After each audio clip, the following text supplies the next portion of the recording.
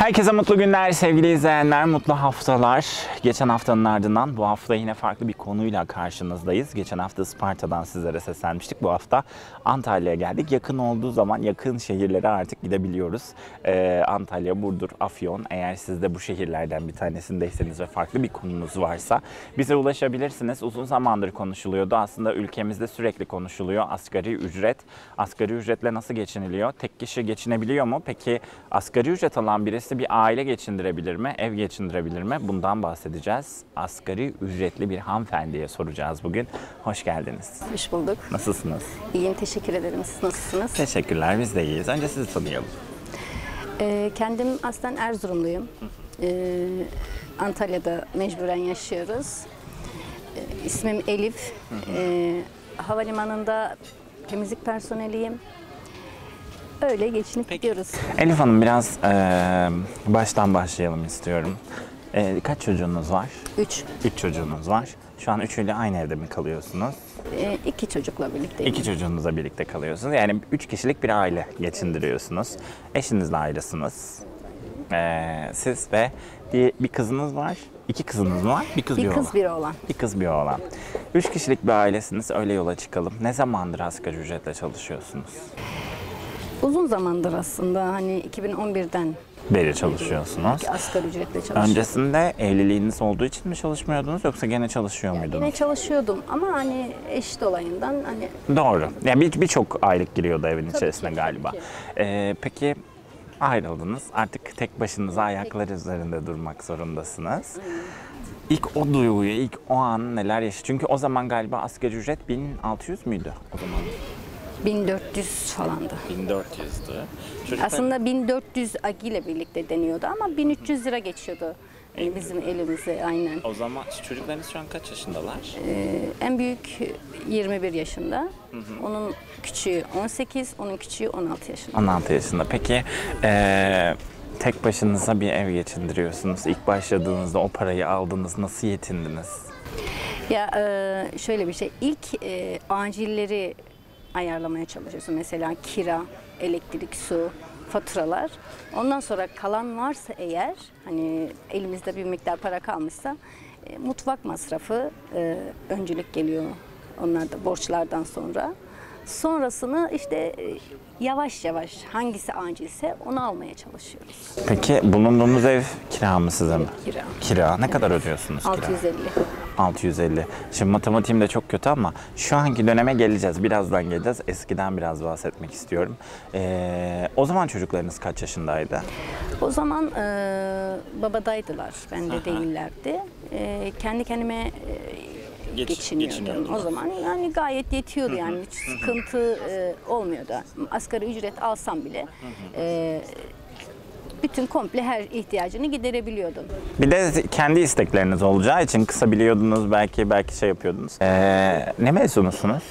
İlkokul, İlkokul. ilkokul mezunu. Ee, neden okumadınız ya da şu an böyle bir planınız var mı? Neden okumadım? Ee, babaannem yetiştirdi beni. Babaannemin yanında büyüdüğüm için okutmadı. Hani e, ilkokula da göndermedi aslında. İkinci sınıfa kadar gittim. O sonrasını e, mezun olacağım zaman diplomamı aldı. Orada akıllılık etmiş herhalde.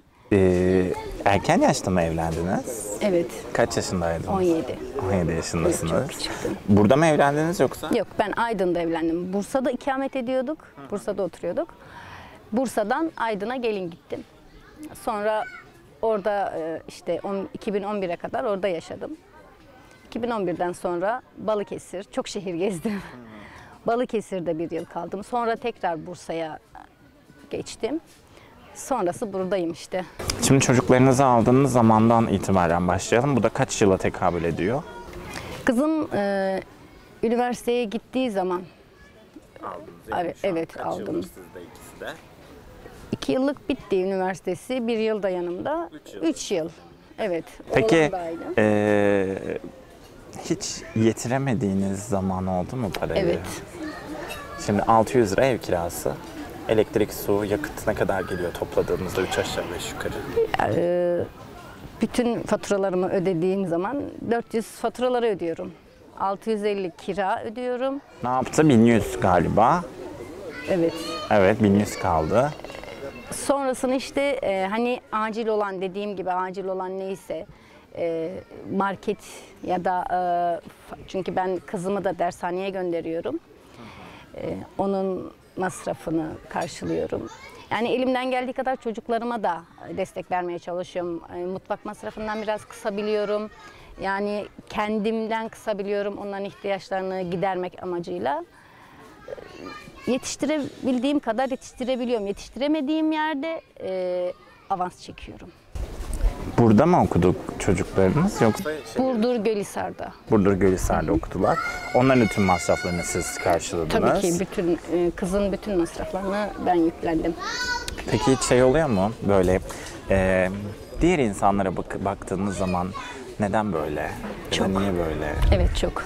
En çok içinizdeki o yara sizinle alakalı mı, çocuklarınızla alakalı mı? Ya e, aslında kendim de hani e, aynı şartlar altında büyüdüm. Babaannem büyüttü bizi. E, ben anne baba görmedim. O yüzden hani diyorum ki çocuklarım da anne, baba görmese bile annesizlik görmesinler. O yüzden e, çok çaba sarf ediyorum ama inşallah memnundurlar.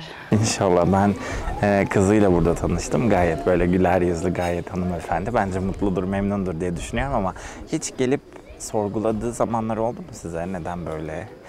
Niye değil? Ya da siz daha iyi durumu olan kişileri gördüğünüz zaman bakış açınız nasıl oluyor?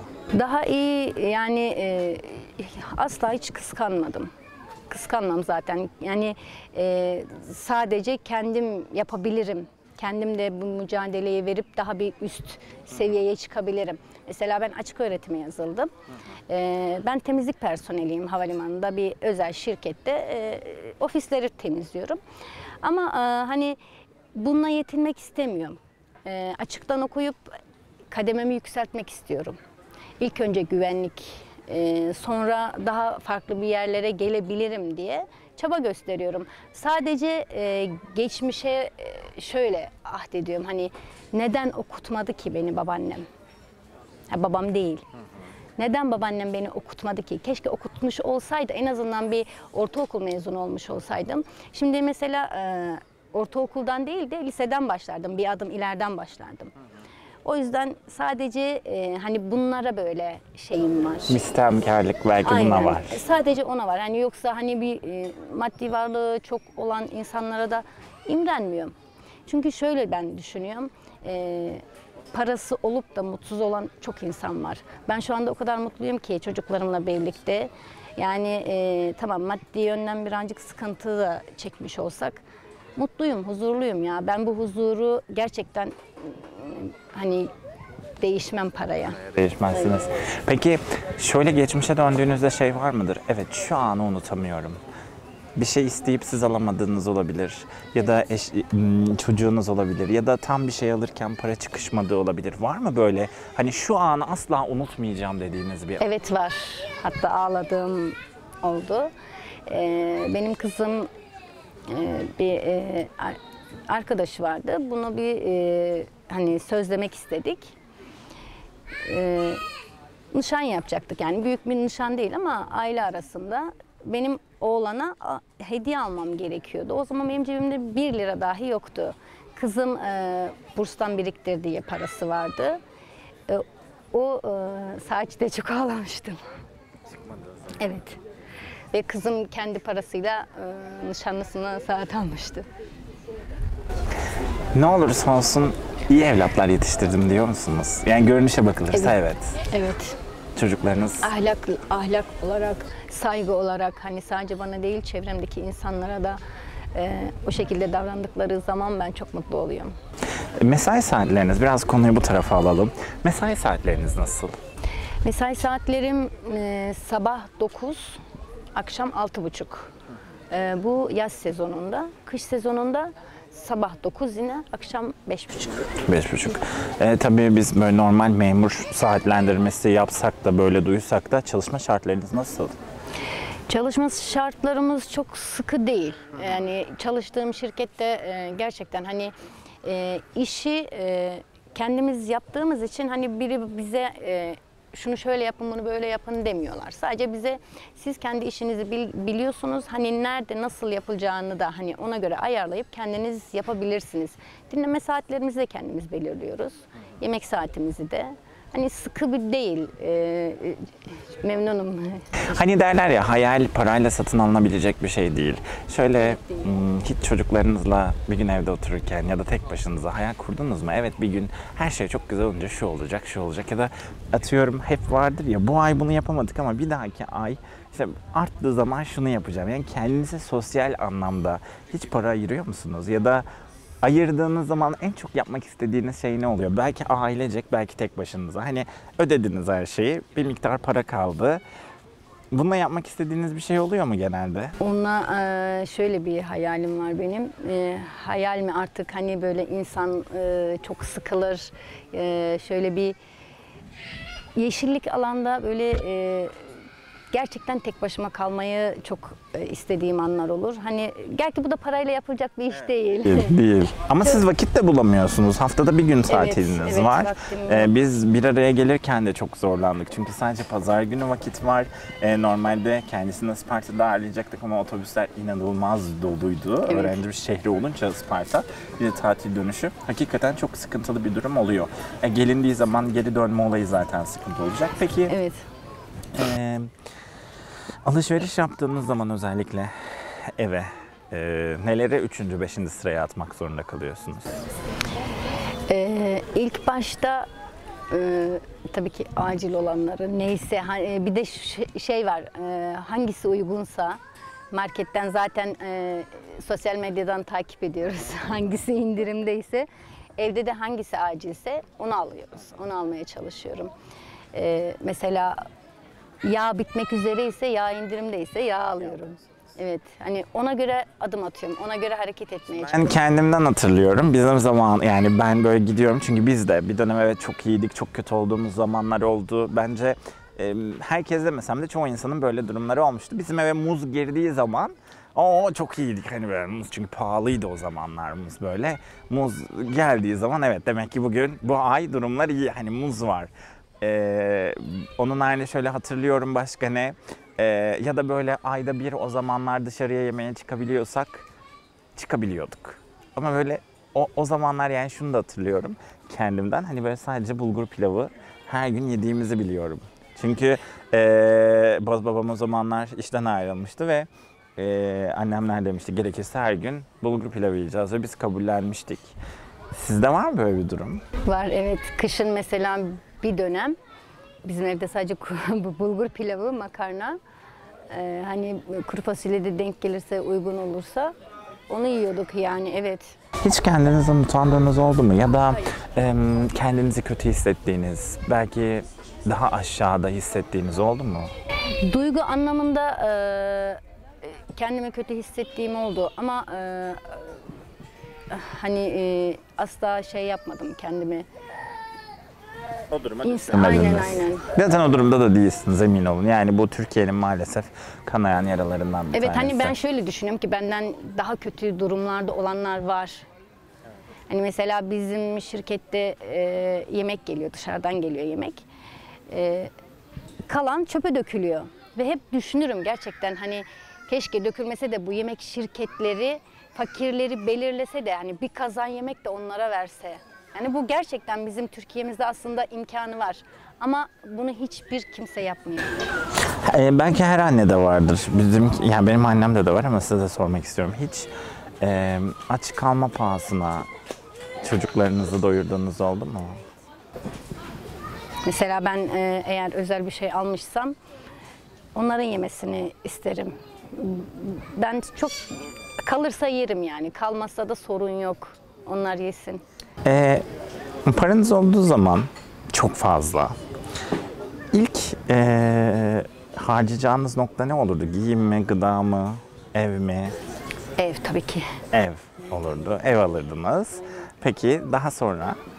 Daha sonra e, ha, evden son evden önce e, kızımın e, şu anda iki yıllık daha bir üniversite okumak istiyor. Onun geleceği için bir kenara ayırırdım. Evet. Onu e, hani masrafları bittikten hani çıkardıktan sonra kendime ev alırdım. Ev alırdınız. Sonra? Sonrası yani hiç öyle büyük bir hayalim olmadı açıkçası. Mesela bu ay alışverişinizi yaptınız mı? Ev alışverişinizi, gıda alışverişini. bir miktar aldık. Ne, neler aldınız mesela? Bu ay Ramazan'da biliyorsunuz. Ee, bu ay e, fitre verenler oldu. Yani e, onlarla e, yağımı, şekerimi, çayımı, e, deterjanımı, e, mutfak erzağımı Çevreden ya da ailenizden bir yardım yok mu? Yani hem sizin aileniz hadi eşinizin ailesini geçiyorum tamamıyla. Artık bitmiş bir ilişki var ama sizin ailenizden herhangi bir yardım yok mu size? Benim ailemden biz e, anne baba ayrı büyüdüğümüz için hani pek e, çok böyle içli dışlı değiliz. Yani sizinle nasılsa e, anne babayla da o şekilde mesafeliyiz. Hani bir oturup merhaba muhabbet ederiz ama ben e, hani içten sıcaklık duymadığım için hiçbir şekilde de e, onlardan hiçbir şey beklemiyorum yani. Dışarı çıktığınız zaman alışverişten önce ya da çocuklarınızla bir yere gittiğinizde herhangi bir şey istediklerinde düşünceniz ne oluyor? Ee, ilk önce hani e, cüzdanımı tabii ki bir gözden geçiriyorum. Varsa geri çevirmiyorum. Siz aslında biraz daha kendi yaşanmışlıklarınızı dediğiniz gibi çocuklarınızın yaşamamasını istiyorsunuz. Peki e, bir günlüğüne bir para verdiler insanlar. Hani çocuklarınızla gezin, eğlenin. Yani o gün amaç yaşamınızı sürdürmek değil, çocuklarınızla bir günü geçirmek. Güzel, dolu dolu, parayı düşünmeden. Bizde vardır ya biz önce ne olursa olsun yokluk gören insanlar ne kadar durumu iyi de olsa sonradan hep düşünür. Cüzdanı düşünür. Şunu alırsam ne olur, bunu alırsam diye. Peki şöyle bir hayal kuralım. Bir günlüğüne böyle bir şey verdiler ve çocuklarınızla bir gün geçireceksiniz. Şöyle bize bir anlatır mısınız? Ne yapardınız? Ee, şöyle Hayal şey kurmak söyleyeyim. bedava çünkü. Evet, hayal kurmak bedava. Ee, ben otelde de çalıştım. Hani e, çok uzun süreli çalışmadım ama e, çalıştım yine. Hani e, ben orada temizlik yapıp da e, orada tatil yapanlara çok imrendim. İmrendiğim için de çocuklarıma alır güzel bir tatil yapmayı düşünürdüm. Çünkü onların da ona bir ihtiyacı var. Hiç tatil yaptınız mı? Yapmadık. Yapmadık. Öyle bir tatil yapmadık hiç. Yani bizim tatilimiz pazar günleri evde geçiyor. Hani e, sözünüzü kesiyorum. Tabii ki e, hani arada e, kendimize göre bazen şöyle yapalım. e, paramız var. e, faturamı falan ödedim. Kiramı da ödedim. Hani borcum yok, ödeyeceğim yok. Boğazımdan kesip çocuklarımla e, zaman geçirmeyi de seviyorum. Mesela rafting'e gideriz. E, denize gideriz yani bu pikniktir. Yani o, o şekilde yaparım. E, asla e, çocuklarımdan esirgemem. Onlar da çünkü mesela benim oğlum e, anne ben arkadaşlarımla çıkmak istiyorum. Gezmeye gitmek istiyorum dediği zaman asla hani onu e, kısıtlamak istemiyorum. Çünkü yaşamadı ve e, şu anda e, yaşamasını istiyorum. Yani benim özlem çektiğim şeyleri onlar çekmesin istiyorum. Evinize e, tavuk ve et ne kadar sıklıkta giriyor? Girmiyor açıkçası. Et girmiyor. Hani e, tavuk da ayda e, iki kere giriyorsa hani, e, o da çocuklar isterse tabii ki. Yani ben şu bugün canım e, et tavuk çekti alayım şuradan gideyim yapamıyorum. Eğer e, ben her işe gitmeden eve gitmeden önce iş çıkışı kızımı ararım. Hani bir ihtiyacınız var mı eksik falan var mı diye. O da anne e, ekmek hani söyler. Sonrasında ya anne işte canım şunu çekti dediği zaman onu almadan eve gitmek istemiyorum tabii ki. Almadan eve gittiğiniz zamanlar oluyor mu? Oluyor. Tabii böyle durumda çocukların psikolojisi de çok önemli. Bazı çocuklar var ki üf biz niye böyleyiz şudur ben bunları gözümle gördüm yani. İşte bizim niye paramız yok şudur budur isyankar olan. E tabii çocuk diyorsunuz sonuçta hani kızamazsınız. Dışarıda görüyorlar arkadaşlarından görüyorlar. Sizin çocuklarınız bu konuda nasıl? Benim çocuklarım o konuda çok anlayışlılar. Gerçekten hani e, düzgün bir dille ifade ettiğim zaman e, şey yapmıyorlar. Kesinlikle diretmiyorlar. Biz niye bu hayatı yaşıyoruz? bi- Biz niye böyle kısıtlı yaşıyoruz demiyorlar. Daha iyi olacak. Anne zaten kızım bana hep der. Anne ben mesleğimi aldıktan sonra e, hani e, sana ben yardım edeceğim diyor. Hani Ne olmak bir- istiyorlar? Kızım ön lisans çocuk mezunu. E, Çocuk gelişimi. çocuk gelişimi mezunu. E, iki yıllığı bitirdi. Bir iki yıl daha okuyup dört yıllığı tamamlayıp öğretmen olmak istiyor inşallah. Benim de tek isteğim o. İnşallah. Elimden geldiği kadar da destek olmaya çalışıyorum bakalım. Peki, eee, tek başınızasınız. Şimdi ülke gerçekleri var. E, hiçbir zaman evet denmiyor dese de e, maalesef e, denen bazı durumlar var. Bu ülkede tek başına bir kadının e, tek başına yaşamın, yaşamını idam ettirmesi çok zor. Maddi açıdan çok zor. Manevi açıdan daha da zor çünkü e, belki geçmişe oranla biraz daha az seviyededir ama dul olmak kavramı var. E, bunun zorluğunu yaşıyor musunuz? Zaman zaman. Ee, özellikle işe girimlerde çok sıkıntı yaşadığım oldu. Ee, şöyle bir şey söyleyeyim. Ben e, Bursa'da e, Bursa'da yaşadığım zamanlarda hastanede çalışıyordum. Gerçekten o zaman da e, yine maddi durumlar, sıkıntılar yaşıyordum ve kızım yanımdaydı. Ee, arkadaşımla şey e, söyledim. Ya dedim hani benim hiç param yok dedim. Kartımda hani otobüs param da yok dedim. Bana dedim hani borç verir misin dedim. Bir 50 lira istedim. Ee, o da beni şefe yönlendirdi. Dedi ki Elif dedi hani yardım et, eder dedi. Hani senin gibi yani ihtiyacı olan insanlara yardım ediyor. Ki ben borç olarak istemiştim. Ee, tamam dedim hani e, asla bir art niyet beslemeden gittim bu para istedim. Dedi, tamam dedi. O da geri çevirmedi. Sonrasında hani e, baktım ki konuşmaları, şeyleri farklı. Yani direktmen e, söylemiyor ama yani sağdan soldan Yararlanmak için. Evet. Ben de düşündüm, çok düşündüm. O parayı aldım ama o kadar çok düşündüm ki eve geldim. Ondan sonra ertesi gün dedim ki ya dedim ben bu parayı borç aldım. Hani yol paramı alınca direktmen paranı vereceğim dedim. O da bana şey dedi. "Ee, e, sen dedi beni yanlış anlamışsın ama dedim yok dedim yanlış anlamadım. Konuşmalarınızdan dedim ben bu yola çıktım dedim. Ben dedim farklı hani çevrenizdeki farklı kadınlardan e, düşünmeyin dedim. Ve beni e, şefim de çünkü beni en pis yerlere sürdü. hani e, en e, düzgün yerde çalışırken e, buradan alıp aşağıya indirdi beni. O yüzden ben de işimden çıktım. Ki ben çünkü her seferinde onunla muhatap olacağım. E, böyle insanlardan gerçekten midem bulanıyor. Aslında ben hep bunu söylüyorum. Biz hep farklılıkları ele alalım diyoruz. Farklı gözüken aslında farklı değil. İçimizde olan, eee, tüm bu durumlarda olan kişileri gösteriyoruz. Farklı diye ama ben geçen hafta söyledim. Aslında o kadar ülke olarak bir psikolojik desteğe ihtiyacımız var ki. Yani ben bu zihniyeti anlamıyorum. Gerçekten anlamıyorum. Eee, bence kızlarınız sizinle hakikaten gurur duymalılar. Yani anlattıklarınıza baktığımız zaman ya da bu birçok kişiye ibret olması lazım. İnsanlar çok şikayetçi, çok şikayet ediyorlar. Eee, durumları ne kadar iyi olursa şikayetleri o kadar artıyor sanki. Eee, o yüzden biraz da bunu ders çıkarma adına dinlesinler istiyorum burada. Siyasi görüşünüz ne? Bu arada hiç kimsenin siyasi görüşü, hiç kimsenin evine aldığı yeme, içme bunlar bizim tabii ki umurumuzda değil ama biz sorulara çıkıyoruz. İşte diyoruz ki eee, ne sormak istersiniz diye. Bize gelen soruları iletiyoruz. Bunun sebebi de şu.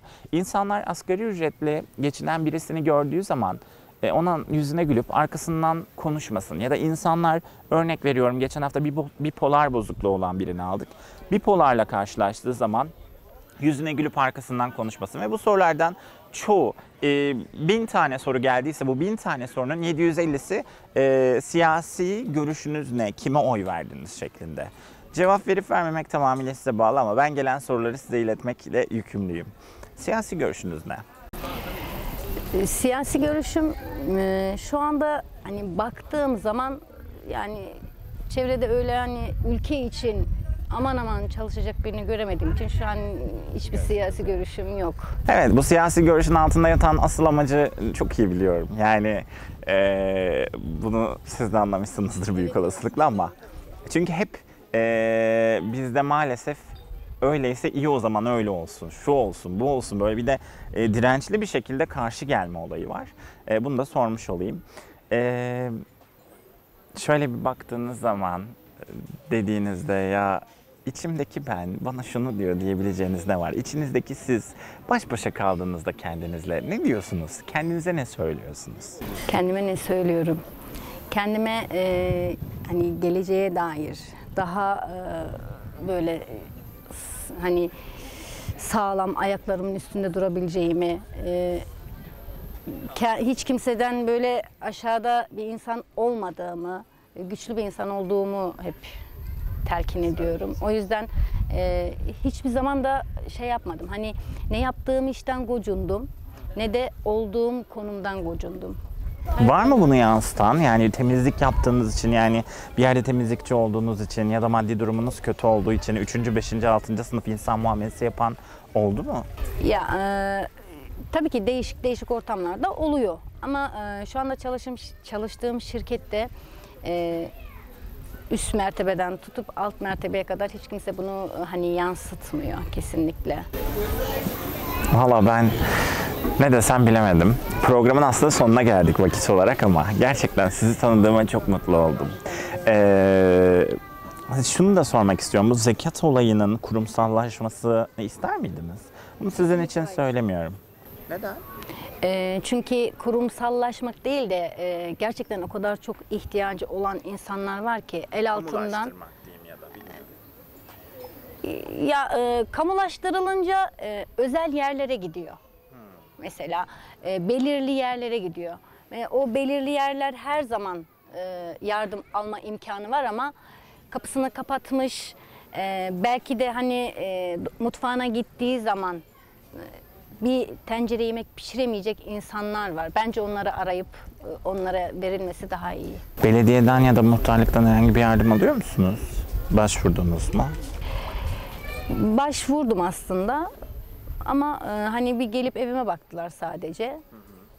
O kadar hani daha devamlı gelmedi. Çünkü bir de sigortalı çalıştığım için bu gibi yardımlardan yararlanamıyorum. Peki hiç şey olan oldu mu? Yani bilmiyorum ben o şekilde görmedim. Ee, hani böyle lüks tüketim dediğimiz işte ne bileyim telefon, ayakkabı daha çok markalaşan ürünler. Kullandığınız zaman hani şey oluyor mu? Yani hem böyle hem de bunu kullanmış falan. Ya e, ona aslında şey vermiyorum. e, e, söylemelerine aynen ben kendimi nasıl iyi hissediyorsam o şekilde. Çünkü kazancım kendimin. Kimseden para istemiyorum. Ben gidip hani e, bir insana hani bana şu parayı verir misin benim ihtiyacım var demiyorum. Ben kendi kazancımı kendim kazandığım için hani e, mücadele ettiğim için en lüks şeyi de kullanırım. Telefonu da kullanırım. E, marka ayakkabı da giyerim. Neden? Çünkü ben boğazımdan kesiyorsam onu almak istiyorum. Hani e, bunu dışarıdaki insan şöyle yapıyor böyle yapıyor yani ihtiyacı var ama e, bak telefonu lüks, telefon kullanıyor ya da ne bileyim giyim tarzına bakar mısın e, dedikleri zaman ben e, mesela belediyeye gitsem de bu şekilde giderim. E, başka bir yere gitsem de yani arkadaşlarımla e, gezmeye gitsem de bu şekilde giderim. Kendimi küçük düşürmek istemem. Hani belediyeye gittiğim zaman e, arkadaşlarımdan birkaç kişi bana dedi ki hani e, Elif sen çok dikkat ediyorsun hani giyimine kuşamına böyle gitme eski kıyafet giy. Ben de dedim ki kesinlikle dedim ben neysem oyum dedim. Hani ben e, gidip dilenmeyeceğim dedim. Belediyenin böyle bir kurumu var. Ben bundan yararlanmak istiyorum tabii ki dedim.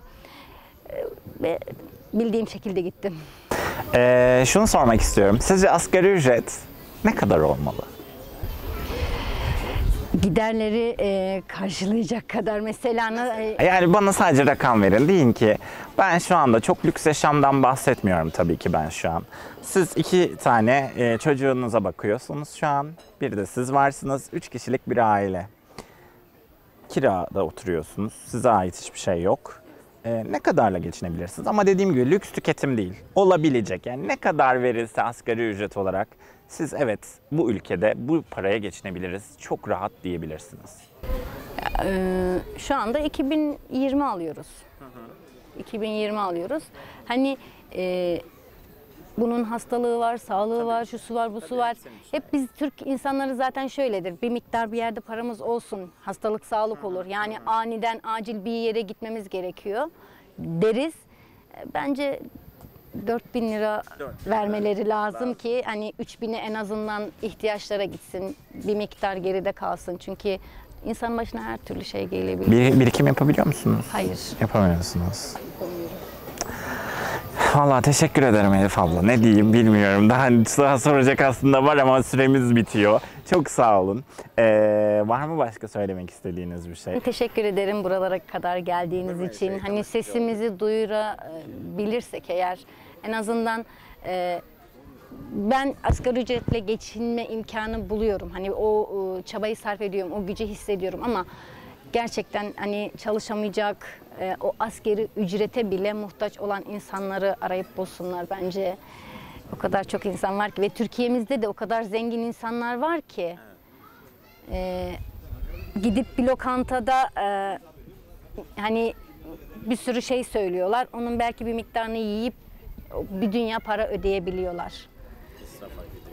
Aynen. Hani bunları e, yapmak yerine ne bileyim birilerini bulsunlar, onlara gerçekten bir mutluluk versinler. Çok teşekkür ederim. Şimdi bitiriyoruz bu hafta programı. Antalya'daydık. Ee, sizlere aktarabildiğimiz şeylerden bir şeyler çıkarabilirsiniz. Ne mutlu özellikle durumu olan insanlara sesleniyorum. Durumu olup yardım yapmayanlara sesleniyorum. Ee, bizi Elif ablayla bir araya getiren kişi Semra. Ee, Semra bize yazmıştı Instagram'dan. Ee, böyle böyle bir ablamız var konuşabilirsiniz diye.